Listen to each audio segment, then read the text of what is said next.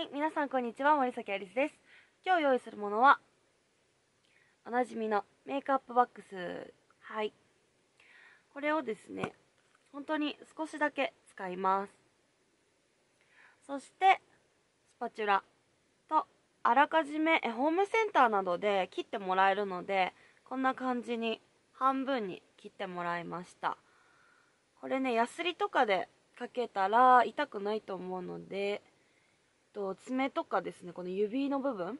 今日は指に刺すんですけど、まあ、こんな感じで刺さっても痛くないようにしてもらいました。こんな感じに刺そうと思っているのでここの部分にワックスを塗っていきます。このぐらい取ってください。のせていきます。でこの時に釘を刺すのであの普段いつものようにこうなんだろうな範囲を広くしてしまうと刺さらなくなっちゃうのでえー、なじませる程度で大丈夫です、最初は。はい、こんな感じ。こうやって見るとあんまりわかんないと思うんですけど、横から見るとこんな感じボコってしてます。はい。この部分、この肌の際の部分ですね。肌の際の部分をとファンデーションでと隠していきます。そんなに今気は目立ってないので本当にちょっとで大丈夫だと思います。この釘をブサッと刺していきます。よいしょ。見えるかな？こんな感じですね。うわ。痛い。痛い。はい。こんな感じ刺さりました。はい。こんな感じですね。痛い。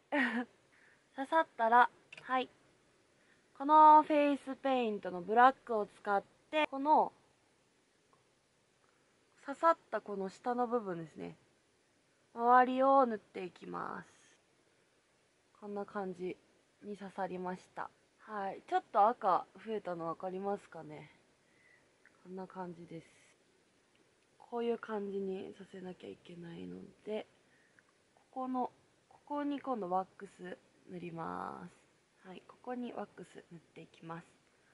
この時もさっきと同じ感じで塗っていきます。垂直にくる部分に刺します。こい。おい痛い痛い。刺さりました。痛いね。あー痛い。はい。でこっちのこの下にも同じ感じでさっきと同じ感じで黒とかを塗っていきます。あとはもう本当に血のりを垂らしてもらうだけで大丈夫です。血のり垂らしていきます。